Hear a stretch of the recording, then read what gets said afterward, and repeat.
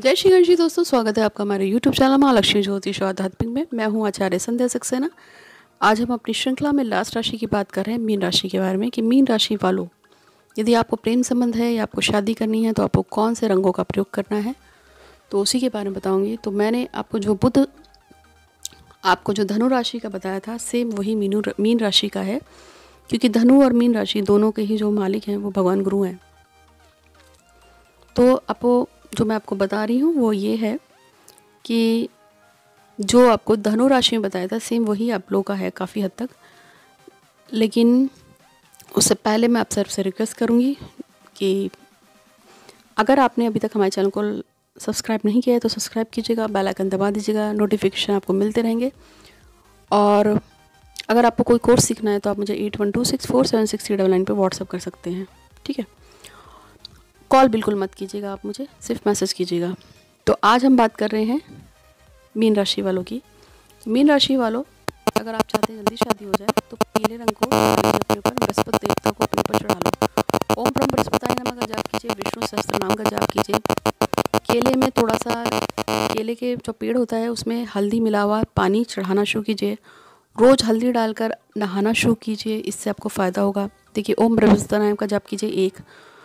विष्णु सहस्त्र नाम का पाठ करें, दो मतलब ऑप्शनल है, आप चाहे दोनों कर लें। तीसरा, आप केले की जित पेड़ है, उसमें हल्दी डाल के, पानी में उसको चढ़ाना शुरू कीजिए। तीन, केसर का तिलक लगाइए या पीला चंदन का तिलक लगाइए। चार, आप खुद पानी में जो है, हल्दी या केसर मिला के नहाएँ रोज़।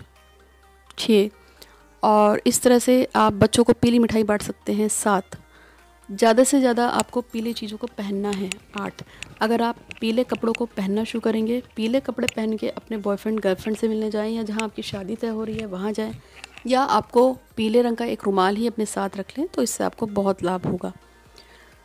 ये छोटे छोटे उपाय जो मैंने आपको बताए हैं, ये बृहस्पतिवार से रिलेटेड हैं। आपको बृहस्पति के जितने उपाय करने हैं, आप नेट पे कर सकते हैं। आप साथ साथ में चंदन को ज़रूर अपनी बॉडी से लगाना शुरू करिए। चंदन से बहुत लाभ होता है, मीन राशि वालों। और सुनहला भी पहना जा सकता है। आप सुनहला पहन सकते हैं। आप चाहें तो गुरु राशि वाले भी धनु राशि वाले भी सुनहला पहन सकते हैं। जब आपको प्यार है, शादी करनी है तो बृहस्पति जो है, मीन राशि का उच्च होता है और बुध में भी, वो धनु में भी होता है इसलिए आप इसका प्रयोग कीजिए, इससे आपको लाभ होगा।